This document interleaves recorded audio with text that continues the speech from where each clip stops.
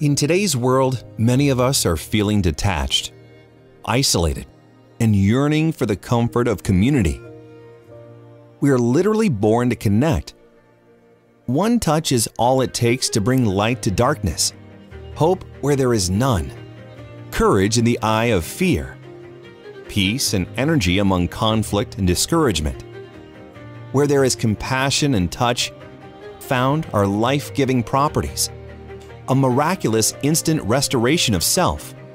Even where there is disconnect and isolation, one touch may be all it takes to feel a charge, a surge, a rush, an awakening to your soul and purpose. It is an essential part of our humanity to feel the touch of those that we care about. But sometimes that's not possible. So when you can't be there, send touchpads to reconnect the human family remember that we are all one race, the human race, that we are more common than we are different. Close the distance. Fill the space with safety, indiscriminance, and only the energy of light because you can. Energy is real.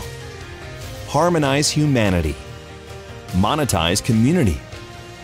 To be epic is to touch the world. Starting with you. Stay in touch.